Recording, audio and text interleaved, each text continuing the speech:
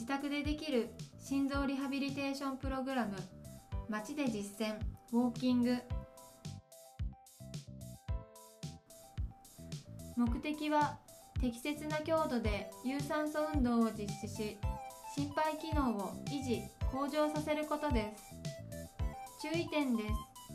ご自身に合ったシューズ通気性の良い服装で実施しましょう。適度な水分補給をしながら実施しましょう。会話ができる程度の歩行速度で実施しましょう。まず正しいウォーキング姿勢の確認について説明していきたいと思います。姿勢確認を行う方法として壁を使用した方法があります。かかとお尻肩後頭部を壁につけていただきその姿勢から一歩前に出た姿勢が望ましい姿勢とされています。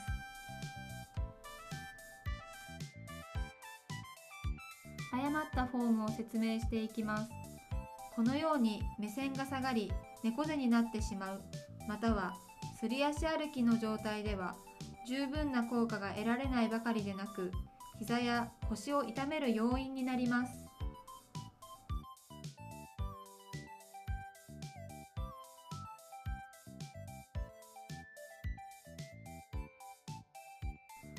では正しいフォームを見てみましょう。まずは2 30メートル先を見るように目線を上げ背筋を伸ばしていただくことが重要です。さらに腕を後ろに大きく振りかかとから着地しつま先で地面を蹴ることを意識し歩幅を広げていくと効果が高まります。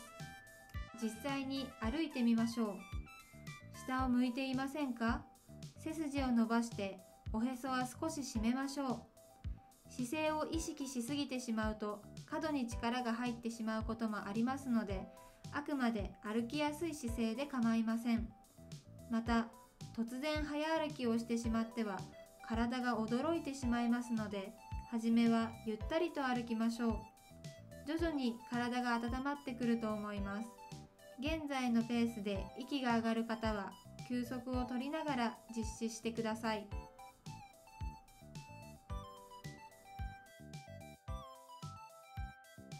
余裕のある方は徐々にペースを上げてみましょう。腕を後ろに大きく振り歩幅を広げましょう。右の表はご自身で感じる運動のきつさを表す指標になっています。安全かつ効果的な強度と言われている楽であるからややきついのペースで実施してみてください。この際にきついと感じる方会話ができないほど息が上がってしまう方はペースを落とすか休憩を挟んでください。急に止まってしまうと血圧の低下やめまいなどをきたすことがございますのでゆっくりと速度を落として歩いていきましょう。ウォーキングはウォーミングアップからクーリングダウンを一連としてまずは5分程度から実施し慣れてきたら10分15分と延長していきましょう。最後に使った筋肉をストレッチしていきます。壁など支えのあるところで行いましょう。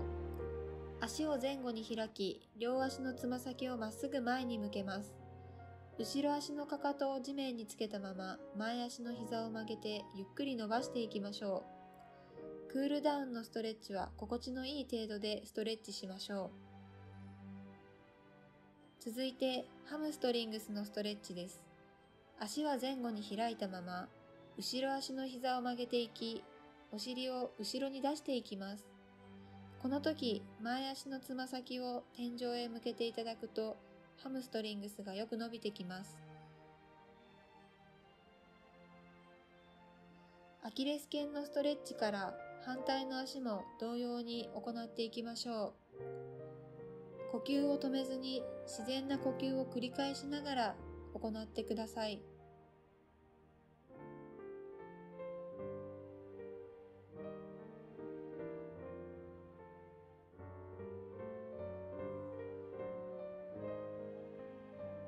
ハムストリングスのストレッチも同様に行っていきましょう。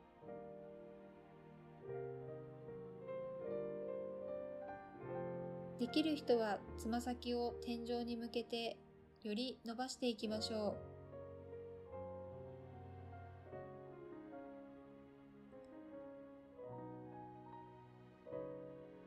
続いては一方の手は支えに置いたままにしましょう。もう一方の手で足の甲を持ち、太ももの前をストレッチしていきます。この時、腰を反らないように注意しましょう。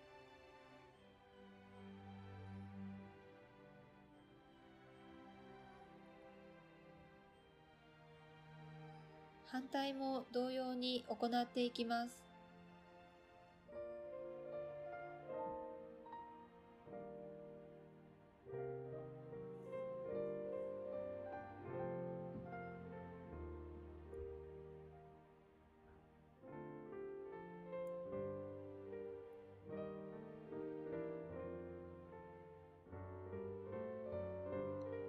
続いて体の脇、体側のストレッチを行います。手を組み、その手を返しながら上へ伸びていきます。この時も姿勢をまっすぐにすることに意識して腰を反らないよう注意しましょう。おへそに少し力を入れていただくと腰が反らなくなります。最後に深呼吸していきましょう。大きく吸ってゆっくり吐きます。もう一度行きましょう。鼻から吸って口から吐いていきましょう。最後に手を横に広げて深呼吸します。